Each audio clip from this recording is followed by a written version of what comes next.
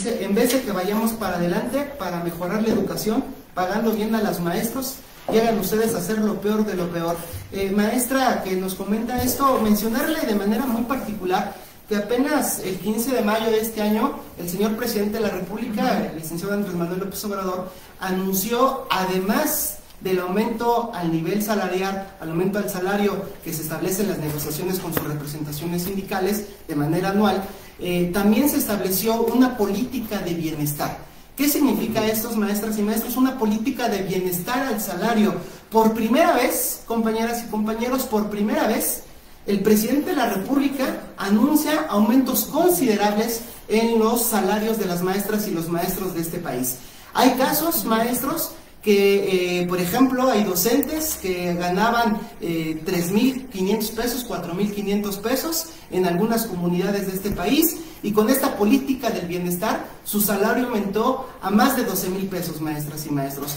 Y no solamente es en tema de salarios, es en tema de prestaciones, lo que tiene que ver con seguridad social, lo que tiene que ver con aguinaldo, con prima vacacional, con todas las prestaciones. Hay entidades de la República, maestras y maestros, que subieron de manera muy considerable los recursos para el pagar a las maestras y a los maestros y esta es una política de bienestar que nunca se había realizado y algo muy importante también, se anunció el 15 de mayo de este año, se estuvo aplicando con las economías que hizo el gobierno de la República, con esta política de austeridad, se estuvo aplicando en los meses de septiembre y octubre y ¿qué creen? El retroactivo fue al primero de enero de este año. Es decir, no fue aplicando a partir de septiembre o de octubre, ni a partir de mayo que lo anunció el presidente, sino fue un retroactivo a partir del primero de enero de este año. Y por la información que tenemos, creo que solamente el estado de Veracruz y alguna otra entidad de la República no han dado o han actualizado esta eh, eh, política de bienestar al salario,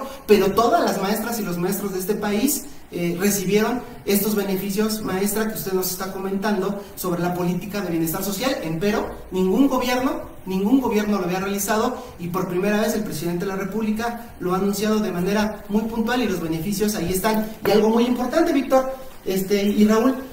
esta política de bienestar social va a impactar si ustedes tienen el 35 o 41% de este incentivo porque les va a impactar sobre ese presupuesto, sobre ese porcentaje, ¿no? precisamente estaba leyendo parte de los comentarios y un maestro, uno de los maestros decía que se impactaba directamente el 07. Sí, maestro, impacta el 07 y tiene sus repercusiones en aguinaldo, prima vacacional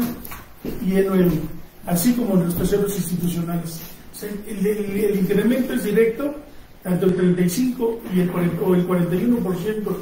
en zonas de alta pobreza, directo al 0,7 sueldo.